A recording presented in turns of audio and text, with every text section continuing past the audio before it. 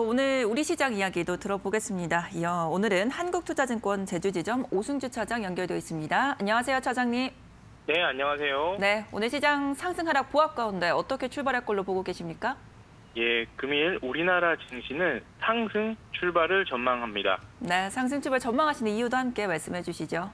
네, 간밤에 미국 시장에서 거래되었던 대표 항공물 ETF인 EWY가 1.1%대 상승세로 마감하였고 여계 시장에서 원달러 환율은 1,198원으로 보합세로 마감하였습니다. 외국인들의 수급의 힌트를 얻을 수 있는 환율과 ETF가 지난주부터 이어져 오는 상승 흐름을 이어갈 수 있겠다는 판단입니다.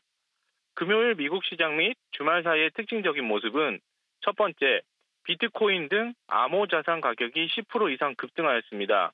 비트코인 기준 50%에 가까운 하락한 이후에 10% 이상의 반등은 의미가 있다고 생각합니다. 두 번째는 미국채 금리 상승입니다. 10년물 기준 1.9%까지 상승하였고 특히 단기물은 단기물인 2년물은 CPP 가까운 상승이 나왔습니다. 세 번째 특징으로는 WTI 유가가 90달러를 돌파했습니다. 2014년 이후에 처음으로 90달러를 돌파했습니다. 종합해 보면 인플레이션 대장 역할을 하는 유가 상승으로 금리 인상을 반영하는 시장입니다. 그러나 비트코인 등 암호자산 가격 상승은 금리 인상의 일정 부분을 시장에서 받아들이는 듯한 모습입니다.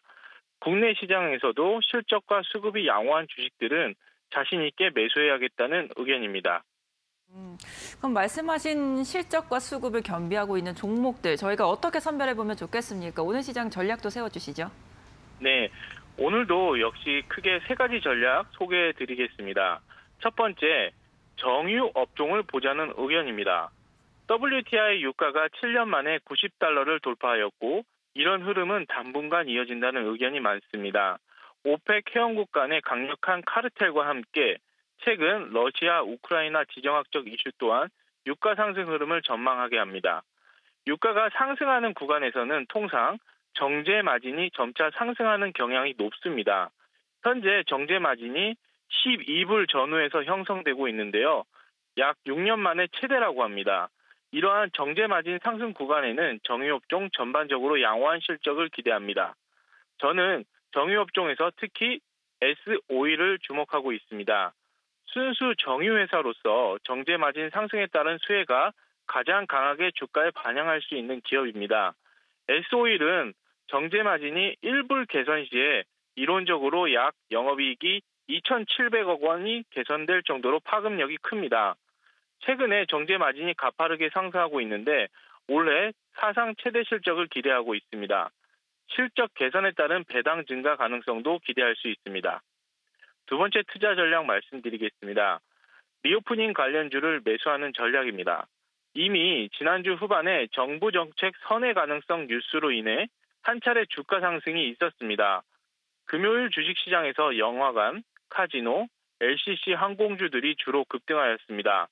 그러나 저는 전통적인 contact주보다는 엔터 업종을 저는 주목하고 있습니다. 글로벌화와 디지털화, 그리고 contact 등 복합적인 매력을 보유하고 있기 때문입니다.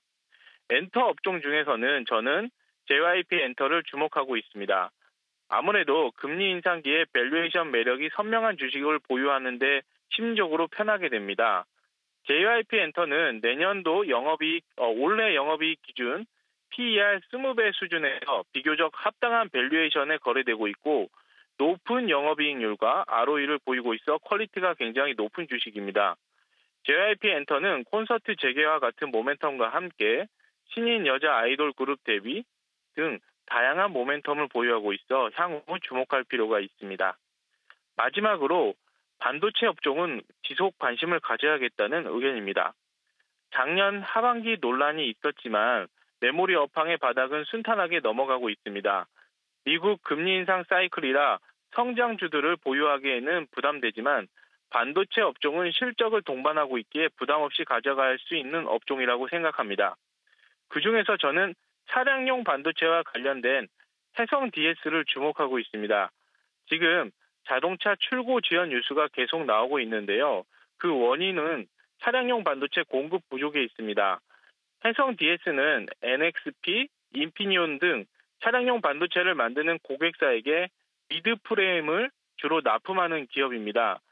공급 부족에 따라 주로 고수익성 제품을 납품하면서 점차 수익성을 높여나가고 있습니다. 지난 4분기 실적도 surprise하게 발표되어 증권가에서는 목표가를 줄고 상향하는 리포트가 나오고 있습니다. 올해도 꾸준한 주가 상승을 기대합니다. 이상입니다. 네, 오늘 말씀도 감사합니다. 네, 감사합니다.